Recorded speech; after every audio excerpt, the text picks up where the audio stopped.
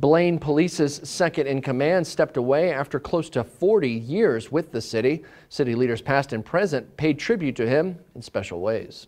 Deputy Chief Dan Szykulski stood by last week as Blaine leaders wished him well on his retirement and reflected on a career that started so long ago. Back in the day when we had a cattle crossing on Main Street in the morning, we would shut Main Street down and the cattle would move from the south to the north, and in the afternoon we'd move them back. We wouldn't move them, but we would block the traffic for them.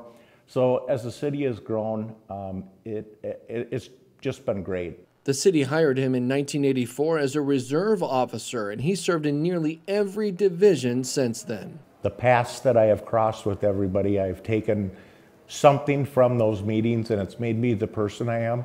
It's made me treat people the way I treat people, um, and it just everything that I do and the decisions I've made because of all of those friendships and however our uh, paths have crossed in life. It's a life of service to the people of Blaine, no matter the reason they called 911. People don't know who else to call, so you've gone on broken hot water heaters and whatever, and you're just there to, to help people the best you can and give them some advice and he will remember fondly the bonds he forged within the ranks at City Hall. The people here have always been a family, and if there's a legacy from now, from way back when, it was that everybody just cared about each other. And as we grew, uh, that grew. As it culminated with Dan front and center, as so many said thank you and job well done. It was just really an honor, um, really heartfelt.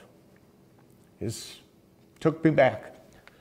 After a vacation to Florida, Dan said he expects to spend as much time as he can at his lake house and by volunteering where and when he can. Blaine Police promoted Dan Pelkey as the new deputy chief. Pelkey was a captain for a while and is the city's emergency manager.